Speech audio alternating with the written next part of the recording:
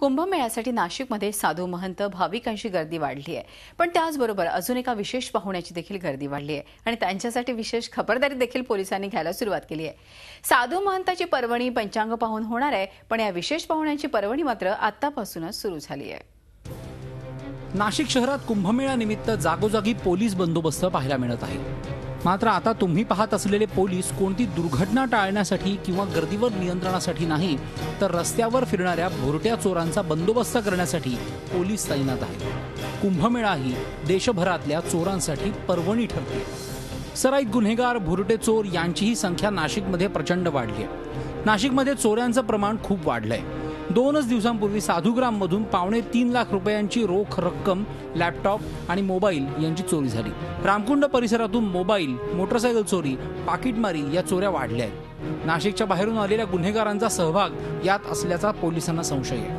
रामकुंडावर सध्यापासूनच मोठ्या प्रमाणावर बंदोबस्त तैनात करण्यात आलेला आहे. तिथं पी आय दर्जाचा अधिकारी रामकुंडावर आम्ही चोवीस तास पी आय दर्जाचा अधिकारी रामकुंडावर बंदोबस्त प्रभारी म्हणून हजर राहील.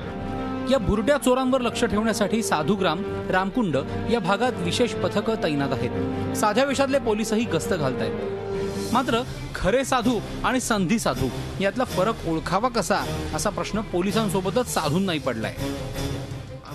कि प्रशासन ने कुछ पहचान पत्र देना चाहिए? हाँ प्रशासन देगी मतलब जिस अखाड़े में जैसे दस हज़ार महात्मा हैं बीस हज़ार हैं वहाँ भगत भी आएँगे।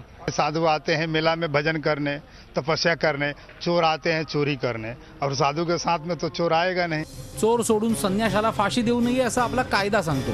त्यामुळे पोलिसांसमोर संधी साधूंना शोधून काढण्याचं आव्हान मोठं आहे. अर्थात पोलीस जरी सुरक्षेसाठी तैनात असले तरी भुरट्या चोरांपासून सावध राहण्यासाठी भाविकांनीही स्वतः थोडं सतर्क राहणं आवश्यक आहे. Mukul Kulkarni Zee media Nashik. Zee चोवीस तास. रहा एक पाऊल पुढे.